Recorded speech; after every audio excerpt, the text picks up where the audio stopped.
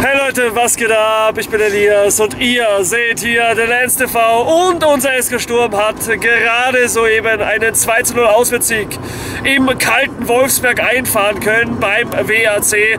Im Endeffekt, naja, die erste Halbzeit nicht wirklich von Highlights geprägt. Wenn es was halbwegs Konstruktives vom gegnerischen Tor gab, dann äh, kam es von unserem SK Sturm, obwohl da wirklich keine hundertprozentige Chance meines Erachtens dabei war.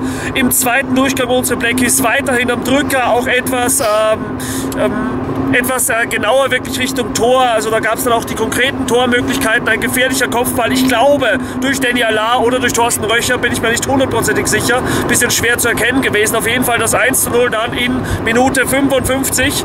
Eben durch Danny Allah. Husbeck, der über die rechte Seite eine scharfe Reingabe bringt. Und Danny Allah, der genau dort steht, wo der Goalgetter eben stehen soll. Und das 1 zu 0 für unsere Blackies erzielt. Völlig verdient auch zu diesem Zeitpunkt. In Summe unser SK Sturm weiterhin ganz klar überlegen. Man hatte das Spiel zu jeder Zeit, wie ich finde, voll unter Kontrolle und hat eben dann in der 70. Minute auch noch nachlegen können. Philipp Husbeck, der einen wunderbaren Ball Volley verarbeitet und den wirklich schön dann auch ins äh, lange Eck äh, reinhaut zum 2 zu 0. Auch da konnte eben der WRC Goalie nicht mehr viel machen und das war dann auch im Endeffekt die Entscheidung. Äh, der WRC vielleicht so in den letzten 10 Minuten ein bisschen versucht zu drücken und den Anschlusstreffer zu erzielen, aber außer einem wirklich äh, halbwegs gefährlichen Kopfball von Tom Zagic kann ich mich da an keine konkrete Torschance der Wolfsberger mehr erinnern. In diesem Sinne ein völlig verdienter Auswärtssieg. 2 zu 0 am Ende. Unsere Blackies weiter in Spitzenreiter. Man hat sich die Tabellenführung zurückgeholt von Salzburg.